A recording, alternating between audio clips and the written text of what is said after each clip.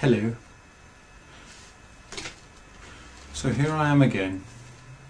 28 years old, coming on 29. Going bald. I upset my wife before she left for Cambridge. And she's coming back soon. So I'm going to take a film of her when she arrives. She doesn't even know I've got the camera. Excited? Not half as excited as you will be. Back soon. Well, there goes the dog going rather loopy. Out the door. Tom's really screaming.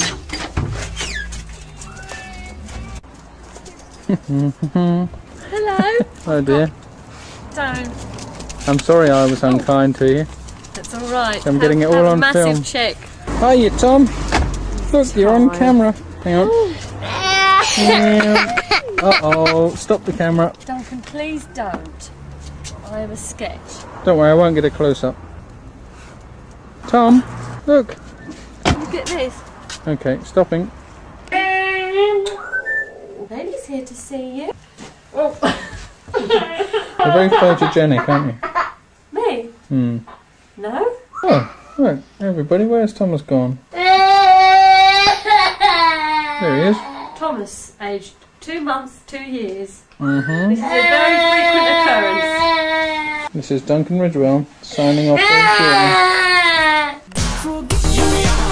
insurance.